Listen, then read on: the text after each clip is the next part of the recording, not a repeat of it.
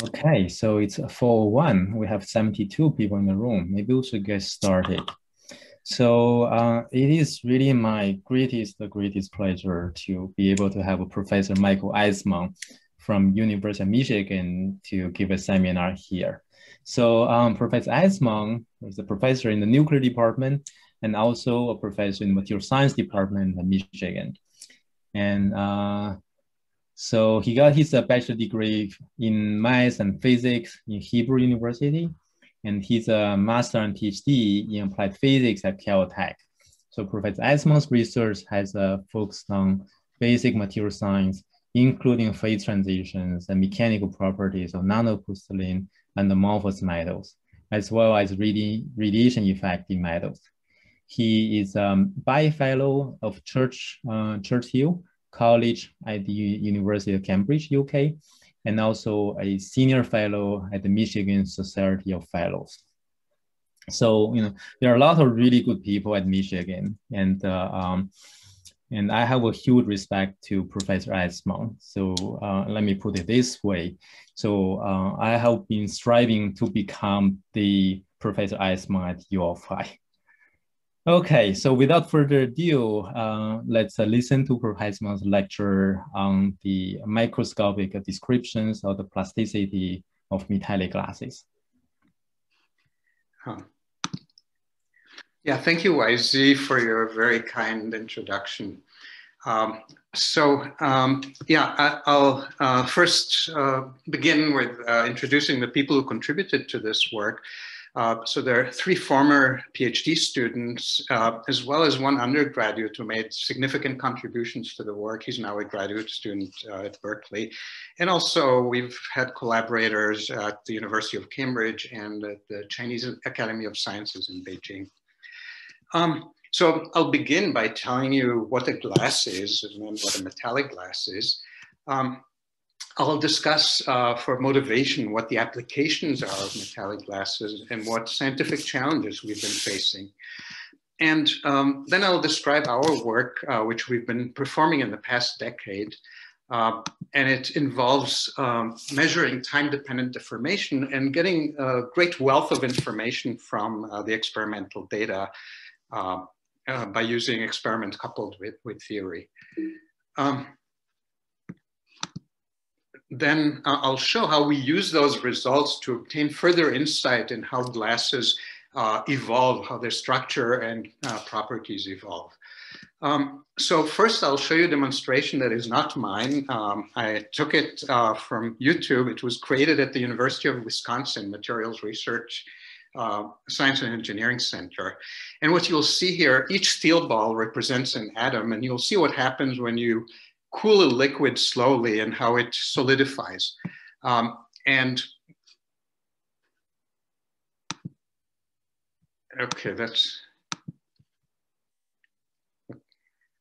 let's see if it's, um, yeah, that's an unexpected glitch here. Um, I'll try one more time. Now, okay, um, well, I'll, I'll tell you what the, the clip, it's a beautiful demonstration. And basically you shake the balls uh, using the speaker, uh, feeding um, uh, a, a sound, sound into it. And then, okay, I may have to exit and resume. Let me see. Um, sorry about that. It's, well, it's never happened um, before. Um, okay, all right, I'll stop sharing for a moment. Uh, sorry about that. Um,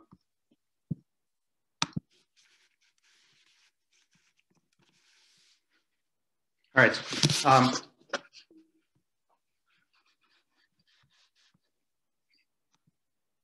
yeah, I'll start again and I will um, we'll have to describe to you what those clips show.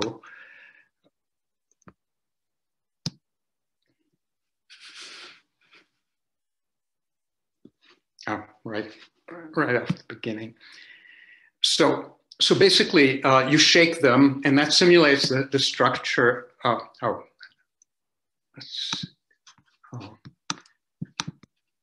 one more step. Okay, hopefully that is the last glitch. Um, okay, so you shake them and then you slowly turn down the volume and they arrange uh, in a crystalline structure, which you see here. Now, if you shake them and cool abruptly, they do not arrange in a crystalline structure. They're frozen in a metastable structure, which is less dense. The curvature of the speaker uh, provides for um, uh, the, the low ener lowest energy state being the densest, and that's the crystalline structure. Um, so that's what happens when you make a, a, glass. You freeze a liquid by cooling it sufficiently fast. So here, um, I don't know if I can, yeah, no, I can't show you that image. So um, yeah, too bad it doesn't work, but um, the, the idea is you cool the liquid fast and it freezes in the liquid structure and uh, it doesn't have the lower energy um, crystalline structure. Okay, so now a metallic glass is a metallic alloy, which is a frozen liquid. And those were discovered uh, in the early 1960s. Uh, you can make them, for example, by squirting a molten jet of metal onto a spinning copper wheel, uh, which is at room temperature, and you get cooling rates of a million degrees per second, uh, which corresponds to um, going from the melting point to room temperature in a millisecond. Um, of course, this imposes a limit on the thickness because you cannot remove heat fast enough from a thicker object. Um, and now later, uh, chemical compositions uh, were identified that don't require high cooling rates. Uh, and that made possible the formation of bulk metallic glasses. And now structural applications are possible. And I'll show you some applications.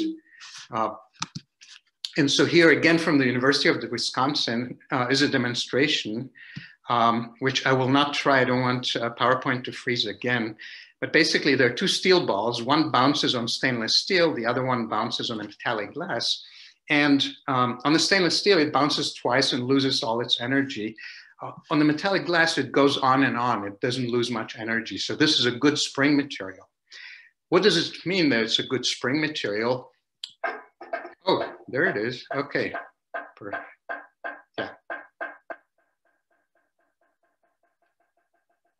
So it worked here. Wonderful. Um, so let's look at a plot of strength versus elastic limit, which means how much can you stretch a material before it deforms permanently or fail, fails. Um, and what you see is steels are strong but have a low elastic limit. Polymers uh, display the opposite.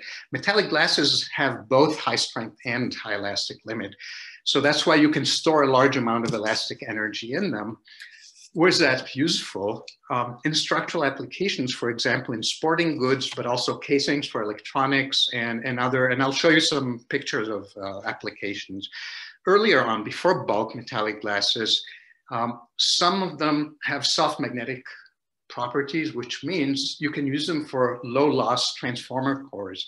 Now, considering that all the electricity we consume uh, goes through transformers, the potential for energy savings uh, is enormous.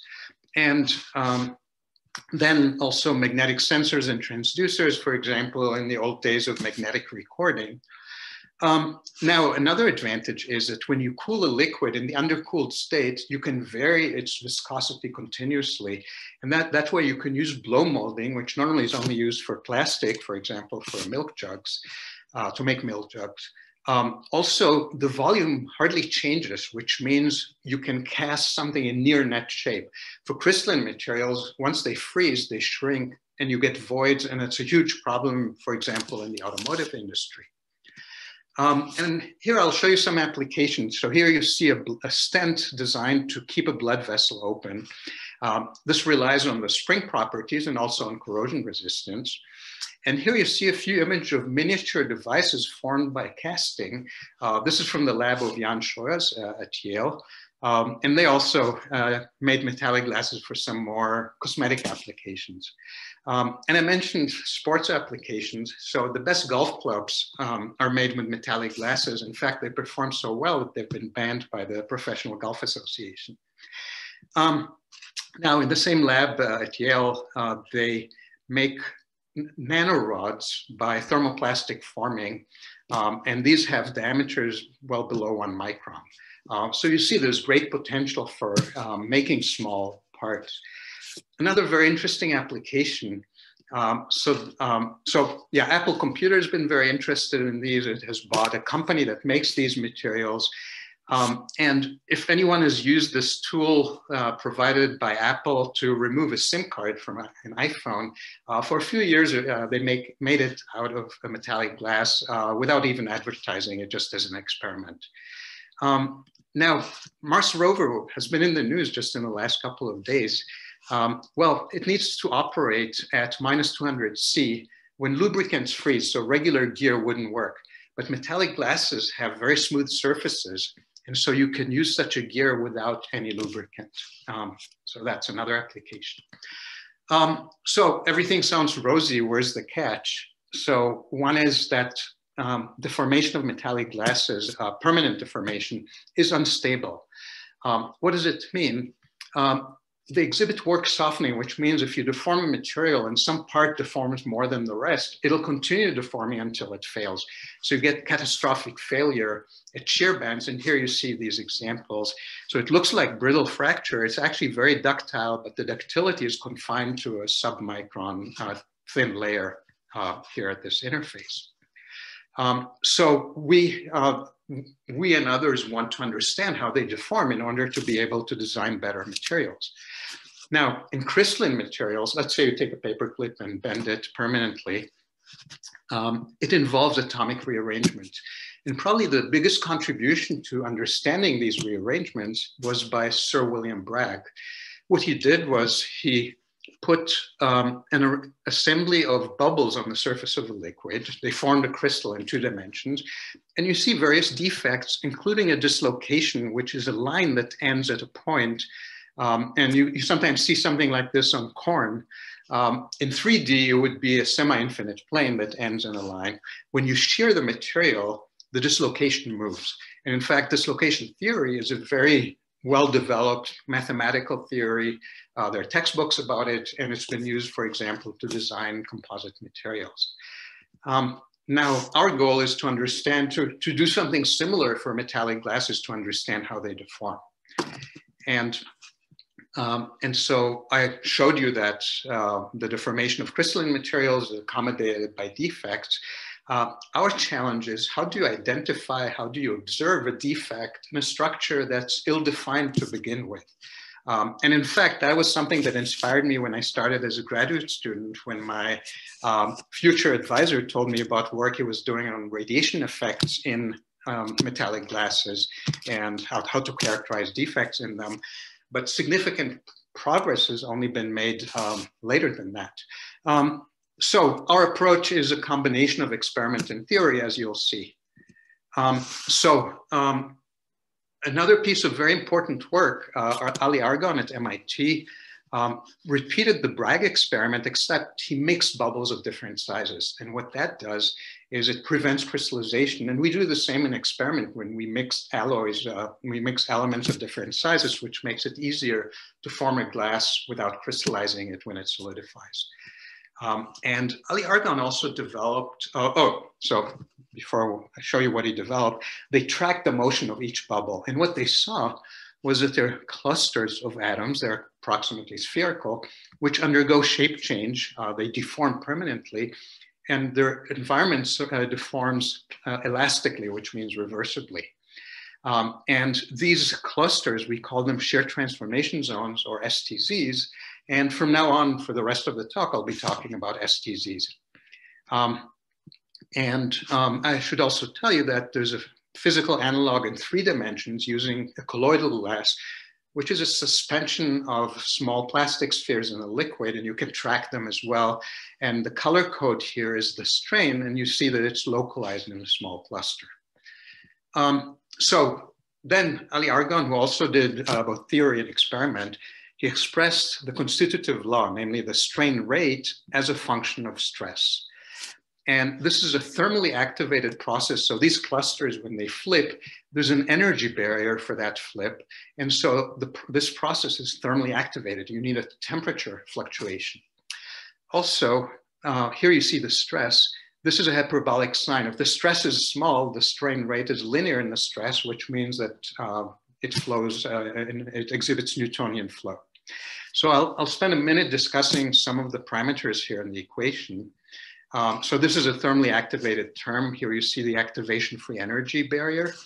And if you apply stress, what you do is you tilt the potential. So you see that these clusters, they flip back and forth, but there's a bias because the barrier for going in one direction is lower than the barrier in the other direction. And that, that bias is introduced by the stress. Um, so here, this barrier, uh, the important thing to remember is that it's proportional. This is from Eshelby's theory of an inclusion in an elastic medium. Um, omega here in red is the volume of the STZ, uh, which uh, we obtain later results for. Um, there are various mechanical parameters, which I won't spend time on. Uh, this gamma here in blue is the transformation shear strain, so the strain which this cluster undergoes, and it's reduced somewhat by uh, the fact that this cluster is surrounded by an elastic medium. And uh, new here is the Poisson ratio of the material. Um, another important parameter, C, um, in Argon's theory is that it, it's uh, the, the, volume fraction of potential STZs. So these are clusters capable of undergoing a shape change. And he argued that it should be on the order of one half. So in our work, we end up getting C with very high precision and size resolved as well. Um, okay, now we go further back. Orowan, who was um, Ali Argon's mentor, um, he made this argument uh, before the term STZ was, had been coined. Um, and uh, what he said was that at, at small strain, you have isolated STZs. The matrix is elastic. So if you remove the external force after deforming a material, the material will go back to its original shape. And that's what we call anelastic behavior. For example, when you squeeze an earplug and it slowly recovers its shape. So it's reversible and time dependent. Now, if you subject the material to high strain, then the volume fraction of STZs keeps increasing as you strain the material. You lose elastic matrix, you lose back stress, and you end up with permanent deformation. So both these uh, deformation modes can be explained with the same mechanism. Uh, our experiments are all at low strain where the analysis is simple because the behavior is linear. Um, and so now one thing that is a big challenge is there's no known mechanism of imaging STZs. You can image dislocations in a crystal. There's a contrast mechanism. Um, and so information has been obtained. I showed you uh, physical analogs in 2D and 3D. Uh, you can do atomistic simulations. If you do molecular dynamics, you can only simulate a very small sample for a very short time. We do measurements over up to two years, so there's no way of simulating what we probe in our experiments. Um, and so therefore, experiments are still needed, even though sometimes there are proposal reviewers who seem not to agree with that uh, point. Um, Okay, so first I'll show you conceptually what we do in our experiment. So we start with a sample, which we model as a linear solid. This is a standard mechanical engineering uh, model of the behavior of a solid. So you have a spring here. This Voigt unit is a spring and dashpot in parallel, like the shock absorber and spring of a car. So it's time dependent and reversible. And so what we'll do now, we first, we apply the fixed strain instantaneously and hold it. And what you see is that this, this spring responds instantaneously. And if you hold it now, slowly the two springs will reach equilibrium with each other and, um, and the, the strain, under fixed strain. Then it's released. And again, one spring uh, relaxes instantaneously. And here you get exponential relaxation. And the time constant is equal to the ratio of the viscosity of the dashpot to the modulus of the spring here, to the spring constant. Um, so this is what we measure in two different ways, which I'll show now. So we take a ribbon of metallic glasses made by melt spinning, uh, which I showed earlier. Uh, it may have some curvature initially as prepared. And then we constrain it for something like two weeks and hold it um, uh, around a mandrel of known radius. And then we release it and it has a different curvature. And then we monitor the curvature as a function of time. Now, when, uh, when you bend a ribbon, you have tension on one side, compression on the other, and there's a neutral midplane. Um, that, that's if it behaves linearly, for example, elastically. Um, and from the curvature, you can calculate the strain, and from it, you can calculate the stress based on the modulus and Poisson's ratio, which uh, we don't need to go into uh, detail. Now, these experiments are not instrumented, so we can do them for as long as we have time and patience for, and we've done those for up to two years. Um, and here you see an example, a sample as quenched, and after constraining it for 216 hours. Now, initially, we determined the curvature by visually fitting a circle uh, which has, uh, first, it's very tedious, and also there are error bars on these. So later we developed a method in which we digitize the sample image and then perform a numerical fit to a circle formula. And then we obtain the radius of curvature, which with much higher degree of precision, which allows us to um, uh, obtain uh, with lower, uh, uh smaller error bars, uh, which turn out to be very crucial to our analysis. So here you see some of the first results we obtained. So you have curves of different color. These were obtained with different mandrel radii. And this here, these numbers are the strain, the elastic strain once the sample is equilibrated under constraint. Um, and, um, and, and so you see the different anelastic strain as a function of time, in this case, up to a few months. And now we can normalize the anelastic strain by the equilibrium elastic strain, which is a measure of the stress. And all the curves collapse into one. And what that tells us is that the processes are linear, which is good because then we can analyze them. We have tractable analysis uh, that I'll show you. Um, now, we also wanted to measure uh, faster processes, and for that purpose, uh, we used a cantilever and a nanoindenter. Um, for those who are not familiar, a nanoindenter is simply a tip which you move with precise measurement of displacement and force. Uh, the resolution is about one nanonewton and better than one nanometer. So it's highly, um, it has a very high precision. And from the displacement, we can calculate the strain, for example, on the surface near the clamp. Um, and so here you see an example of results obtained from a cantilever. In blue, you see um, the load history, so the force history, high load, low load, zero, and repeat. And here you see the response, the displacement. So you see the instantaneous response, that's the elastic part, and then you see the time-dependent part, uh, which is magnified here, and that's what we analyze.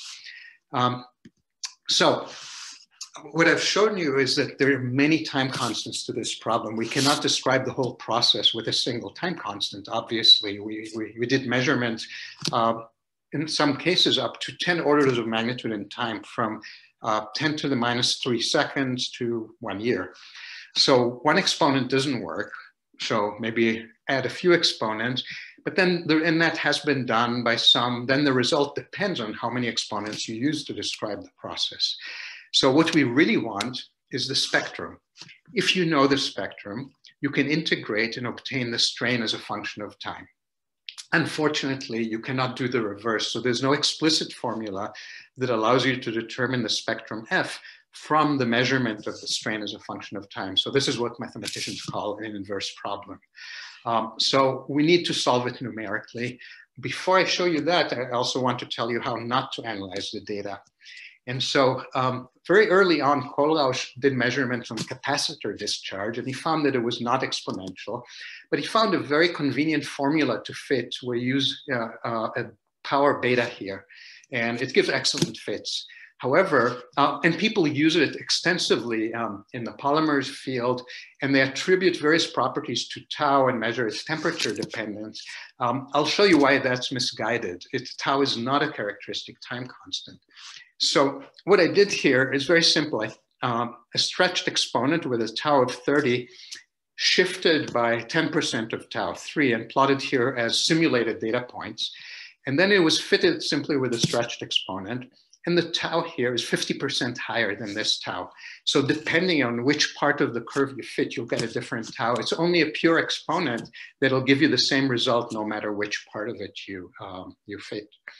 Um, so what, what uh, the conclusion is that there are cases where uh, there's a mechanistic model for a particular process that justifies the equation. Otherwise, uh, using KWW is not uh, useful here.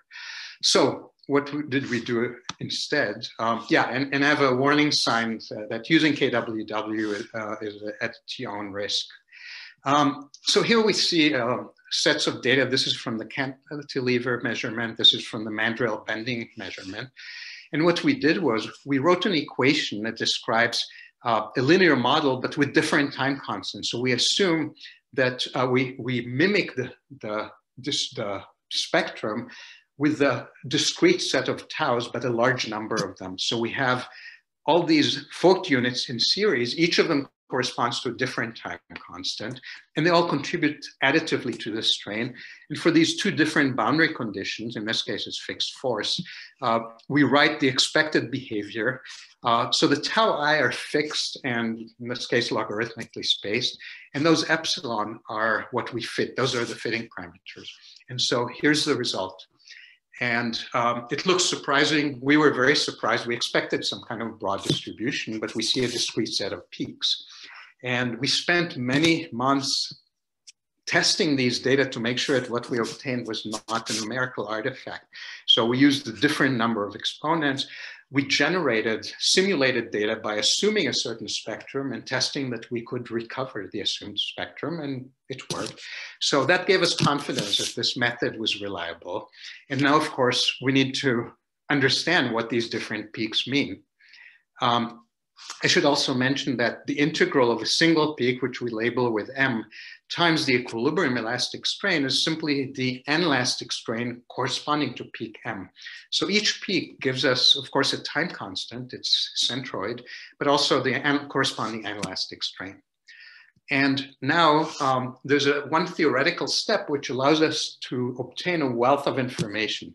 So here's the way we model the solid. Each of these units corresponds to or is a result of the contribution of many STZs in the material. And they all contribute additively. And the effective modulus and the effective viscosity are inversely proportional to the number of units contributing. So now each STZ can occupy two states. It can flip in one direction or the other, but its time average is a continuous variable. Now, the, the stress term is a small perturbation, so they can, they're not just stuck in one state, but they flit back and forth and they're ergodic. They can explore their, their available states. And therefore, if they're ergodic, it means that if you take a, a snapshot and, and an ensemble average over all STZs, it's the same as a time average of a single STZ. And we're talking about STZs of the same type here. And this simple assumption gives us a very simple but powerful result. The integral of a single peak has a very clear physical meaning. It's the volume fraction of the solid occupied by M-type potential STZs. Okay, and again, M was the index for that particular peak. Um, so here's, uh, we obtain this from the data and we directly obtain a volume fraction without any direct microscopic observation. Um, and now if we go back to Argon's theory, we can estimate or we know all the parameters except for the volume of the STZ. And we can write his equation uh, for specific for each M, for each type of STZ. And because they contribute additively to the strain. And so we plug the numbers in and we obtain the volume corresponding to each peak in the spectrum. And here we plot that volume. Now this is an aluminum rich alloy. Um, so we normalize by the volume of a single aluminum atom and we get uh, we plot these data and we get a slope of one uh, it's quite fortuitous that it's within less than one percent. Um, what does a slope of one mean? It means that the volume difference between two stzs types corresponding to two neighboring peaks is one atom okay? In other words those peaks that we saw in the spectrum correspond to discrete numbers of atoms in the STZ, what we call an atomically quantized hierarchy. Um, and so what we observe is a kinetic window of STZs consisting of 14 to 21 atoms. And in fact, after we published the first paper on this, we kept performing the measurements up to two years and we saw the signature of clusters of 21 atoms. You add one atom and, and the STZ is slower by about a factor of 10. Um, and the kinetic window, of course, is determined by how long you measure or how, uh, or high, how high your time resolution is for fast processes. Um, so this was a very exciting result. Um, a simple experiment shows the discrete nature of the material, the atomistic nature of it. Um, the question is, um, is it also useful? What can we uh, uh, use this for? so um, I'll just mention briefly, I don't have time to discuss the details. We were able to model uh, C sub n, so the volume fraction, uh, as a function of number of atoms using the free volume theory uh, with Poisson statistics. Um, but now the results are relevant to anything that involves atomic transport, creep or diffusion, for example. And you can also extrapolate the viscosity to predict the glass transition temperature when the material flows. And in fact, uh, we did that and we get a result that's consistent with experimental observation. Um, and I should just mention it, the glass transition is something that theorists have been pursuing for a long time. Um, so now, what about atomic transport? So if N naught is the maximum size of active STZs, if you go to higher temperature, then larger STZs can overcome their barrier as well. Um, in order to get long range diffusion, you need the STZs, their concentration, to exceed the percolation threshold. Now, um, in order to get homogeneous flow, that is not sufficient. You also need that the volume fraction that's stiff, that doesn't contain uh, active potential STZs, it has to be below the percolation threshold. Now, I mentioned long range diffusion. What about short range diffusion? So many years ago when I was a postdoc, I measured short range diffusion in amorphous alloys. And I saw two different time constants, which was um, at the time we didn't quite know what that meant. Um, if you assume that STZs are the mechanism of diffusion, that can explain why you can see different time constants. First, the slow, ST, uh, sorry, the fast STZs flip, and that leads to some atomic mixing, and then the slower STZs flip as well. And that explains very well what we saw many years ago. Um, okay, um, here's a theoretical concept about um, generally non-equilibrium materials, uh, this, the so-called energy landscape model. So if you plot the free energy as a function of all the coordinates, so if you have n atoms, it'll be 3n uh, coordinates. Here, of course, schematically, just two coordinates. So a crystal is at the minimum uh, that's stable equilibrium. But you also have many local minima uh, that are not the absolute minimum, and those correspond to metastable states. So if you look at a cut through this surface, let's say you form a glass here, over time it can age and slowly, in a thermally activated fashion, uh, evolve to a lower energy state. You can also rejuvenate it, and I'll discuss later how that's done by, uh, and, and, then you bring it to a higher energy state. And as you see, the crystal has the lowest uh, energy. Um, yeah, and so the rate of these processes is thermal, it's thermally activated, so it increases with temperature. Um, now, what does structural relaxation or aging do? The material becomes denser and um, then, oh, Okay, so uh, yeah, the rate of that process uh, increases with temperature. Um, anything that relies on atomic, atomic transport slows down significantly and the material becomes stiffer, okay, and it beca can become brittle as well. Rejuvenation is the opposite, um, and it can be done by deformation, by irradiation, or by temperature cycling um, between extreme temperatures. Um, now, generally people have described the state of a glass with a single parameter that's measurable, for example, density or stored energy, but it turns out that uh, it's more complicated as you'll see. Um, so an experimental technique that's often used uh, to characterize materials, uh, internal friction, you drive a material with a cyclic stress and you measure the response. And so the modulus has a real and imaginary part, and the imaginary part is a measure of dissipation. Um, and here you see the loss modulus on a log scale as a function of frequency for many different or four different glasses. And you see some of them have, uh, so they all have a peak um, and uh, it's they're normalized to have a peak at the same frequency. Um, and you see a secondary peak for some of them only or not the other. It's called beta relaxation. Um, and it's been observed very extensively in polymers where it's easy to explain. It's less obvious how to explain it in atomic glasses. Now, why are we interested in it? Because uh, it, it, has been postulated, or based on some observations, that materials with a distinct beta relaxation are also more ductile, which is, of course, what we want if we want a tough material. Um, so what we wanted to do is look at these materials and study their STZ properties uh, in order to explain ductility. Um, so what we see here is strain as a function of time with the cantilever method and the mandrel bending method. Um, and this is material subjected to different aging times before beginning the bending experiment. And what you see is that as the material ages, you can put in much less anelastic strain. And you also see that they all have the same slope. So the slow process, sorry, the fast processes, they're all quite similar, but then you see different slopes at longer times, essentially after one day or so.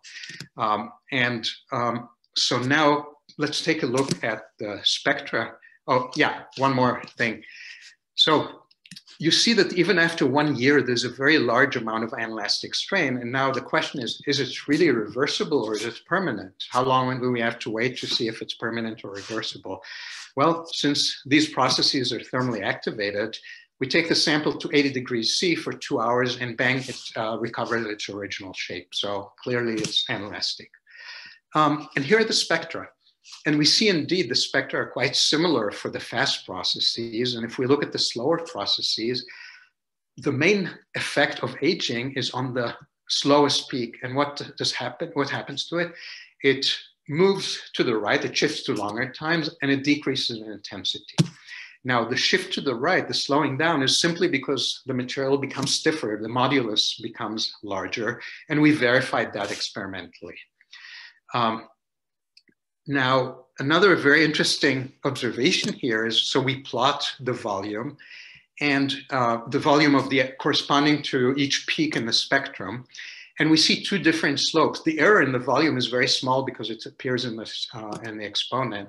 And we see one slope here. It doesn't look like a big difference, but it's a difference between 0.16 and 0.26.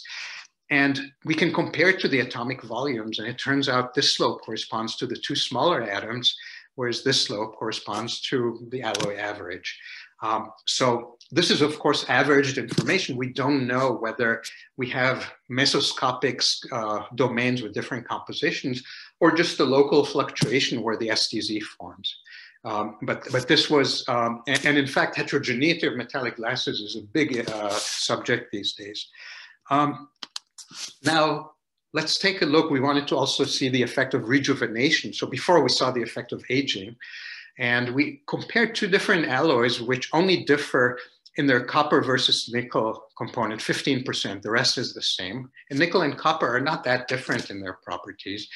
And so first of all, we see the copper-based alloy has much higher anelastic strain, greater than the elastic equilibrium elastic strain. Again, we see that with aging, again, the aging takes place prior to the bending experiment. You can put in less anelastic strain. And here is an alloy with intermediate aging time that was also subjected to 10 cycles between liquid nitrogen and, and, room temperature. And it looks like it fits right in. The trend seems to be quite well preserved. But let's take a look at the spectrum. Again, this is reversible, which we confirmed by annealing. Um, and here are the spectra. So again, we see for these two alloys that the slowest peak shifts and decreases in intensity. Um, we, you see here two, two samples for each uh, set of conditions, and that shows you the reproducibility of the experiment. Um, and now let's take a look at the uh, sample that was also cryogenically cycled before doing the bending experiment. And what do we see? The peak position is recovered, but the peak height is not recovered. In other words, the material becomes less stiff, the modulus decreases, uh, which we also confirmed experimentally. But the number of potential STZs indicated by the area of the peak is not recovered.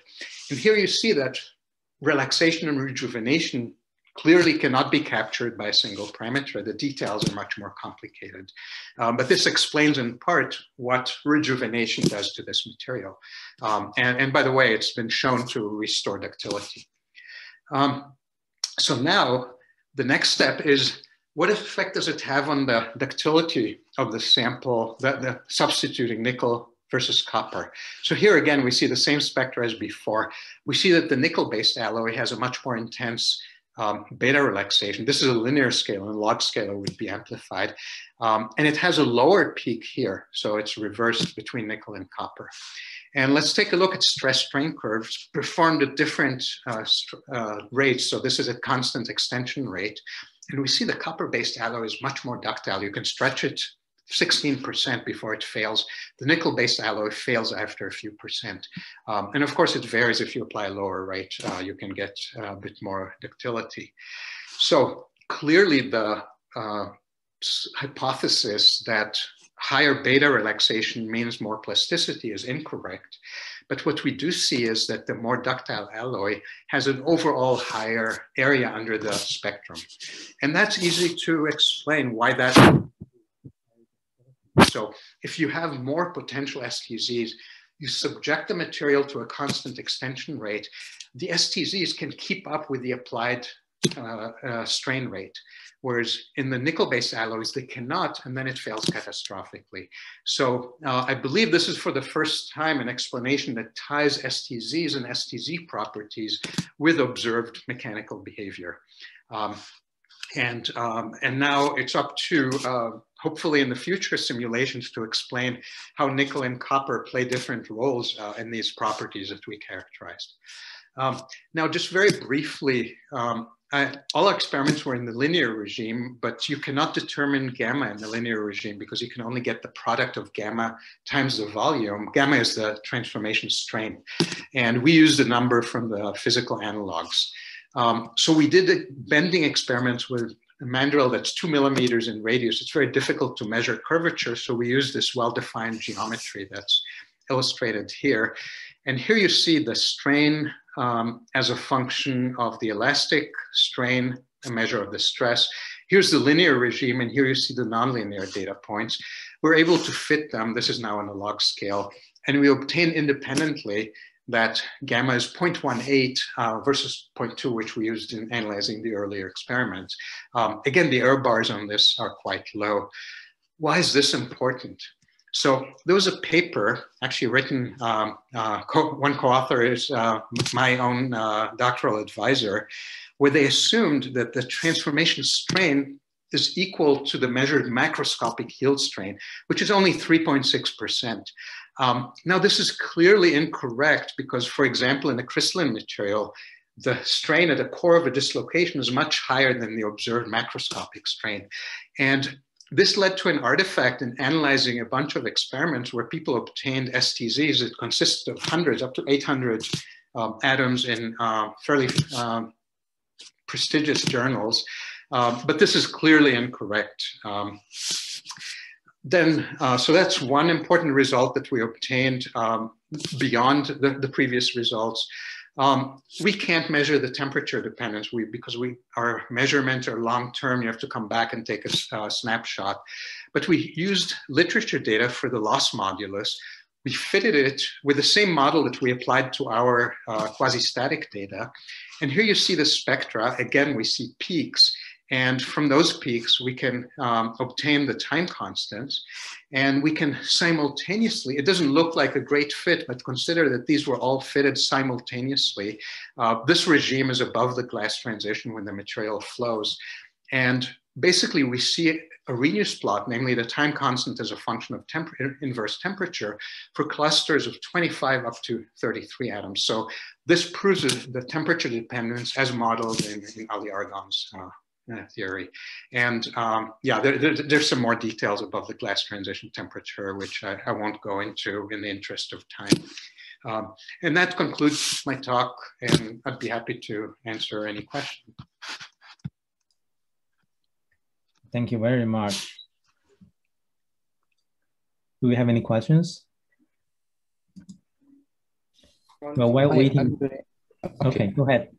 I had a question about like um, the, the definition of aging and the other term. So you said that the other uh, phenomena is related to irradiation, and um, from from my understanding, that irradiation like makes the material more hard, and that is related to higher uh, elastic moduli, right? So I'm just like confused because aging is related to higher moduli, and in the in the same time, the irradiation hardening is is causing a, a more hard material as well. So I don't get I'm confused between uh, the two phenomena. Okay, so um, yeah, irradiation of metallic glasses causes rejuvenation. It causes a uh, decrease in modulus and, uh, and decrease in density.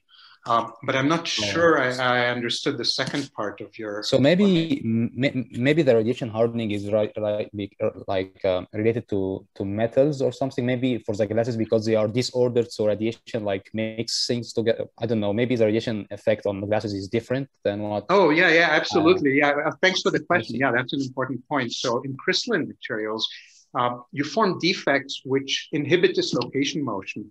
So if a dislocation gets mm-hmm. in between two points that are close together, it requires higher stress to make it uh, bow out and, and, and, and therefore yeah. uh, for the material to deform. So, so yeah, this radiation hardening phenomenon is not uh, common with, um, uh, it does not uh, happen to my best knowledge in amorphous materials. And in fact, that's um, in a way, it may be analogous to what I said before that crystalline materials work hard and you deform them, they become harder. And mm-hmm. uh, whereas an amorphous material becomes softer when you deform it. I see. Okay, yeah. That's, thank you so much. I, uh, I have a question. So, um, first of all, thank you for your inspiring uh, presentation. So, I have a question about this, the production of the of the spectrum. So, can you, uh, I, so I didn't quite get it. Uh, how, uh, how do you produce those spectrum and uh, is that always unique solution? Oh, eh, yeah, excellent question. Let me go back um, and ha have that. Um... in fact, uh, Professor Atzmon, that is my question as well. So doing the inverse Laplace transform it's uh, not easy. I don't know if you yeah yeah you um, applied any like regularizer to stabilize the. Oh yeah yeah um, yeah. Th thanks for the question. Let, let me see. Um, sure, I'll show the slide with that um, image. Um, yeah, th this is it. So yeah, um, so these are the expressions we fit. And initially, we did not use a regularizer. So basically, for everybody's benefit, um, it, in order to get physical solutions, you don't want them to vary very uh, in extreme ways to have large oscillations. So in the fit, you introduce a term that you want to minimize along with other terms um, that's sensitive to large variations, so to, to the gradient, for example. Um, so initially we didn't use it. And for example, this result was obtained without it. And the only um, support we obtained for the, uh, that, that led us to believe that this is real is simply that we applied the method to a simulated data where we knew what the input spectrum was and we were able to recover it. Um, then we, we found that there's actually a standard. So we wrote the software for that without knowing what's out there. And then turns out there is software for these sort of fits, which has a term, a regularizing term.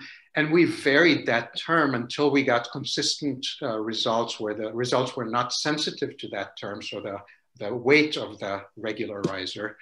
And, um, and then we obtained, so for a series of samples, we wanted to see the same regularizing term and a result that's insensitive to it. Uh, and that's how we obtained it. But um, the, the, so yeah, whenever you solve an inverse problem, you don't have a guarantee that, uh, of uniqueness. But um, when we vary the conditions, we use different numbers of exponents or we use different ranges in which to fit. And we always obtained consistent results.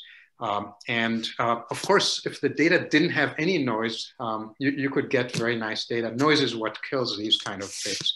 And that's true in um, tomography and, as well, of course. Um, and, so I, I, don't know if that answers your question.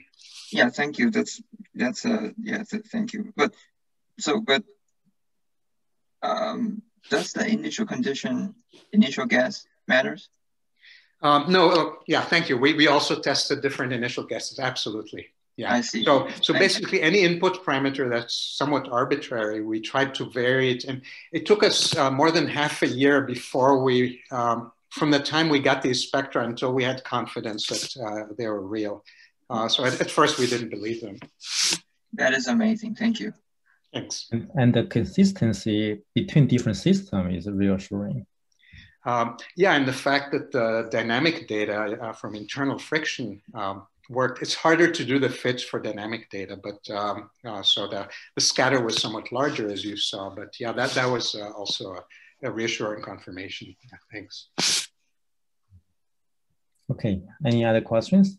Uh, thank you, Professor, for giving this interesting presentation. I have a question. So in your method, you use uh, mostly the, the strain as a function of time. Yeah.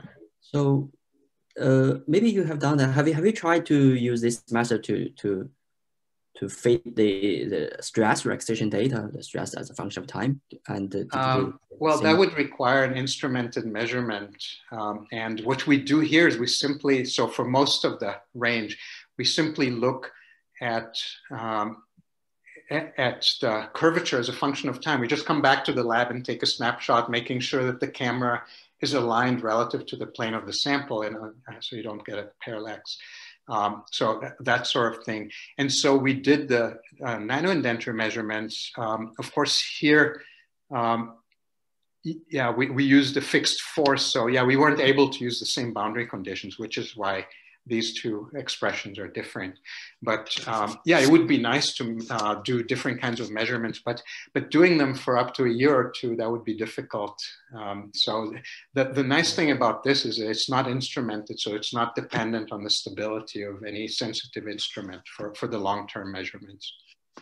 Um, I don't know if that yeah. answers your question. Yes, yes. Okay. Okay, very yes, nice. Maybe you can we directly apply this method to, to the stress relaxation data we, we already have, right? Um, then yeah, if, yeah, if you have stress relaxation data, um, yeah, I'd, um, I'd, be glad to look at them and, uh, and see what, what kind of uh, measurements. Uh, so, so did just time dependent uh, relaxation at fixed strain and, and monitoring the stress. Yeah, fixed strain and the, the time evolution with yeah. yeah it should be possible. It's of course you know each such uh, it's a different boundary condition so you have to adjust the, uh, the expression. Yes because the, the, the, stress relaxation data measured by dynamic and mechanical analyzer seems to uh, seems more accurate than your strain uh, evolution data. So maybe um, when apply the method to the stress relaxation data we'll, we'll get more accurate spectra of the. Yeah, you're power. probably right, but but not. Uh, it's probably um, not so easy to do measurements up to a year or two um, on the DMA, right? Yes. Yes. Yeah, but uh, yeah, you're right. Uh, with higher temperature, right? Yeah, with the DMA, you of course can control the temperature as well, which we don't have for this experiment. Only for the literature data that we um, um, that, that we fitted the uh, dynamic uh, data. Yes. Yeah. Okay, very nice. Uh, any more questions?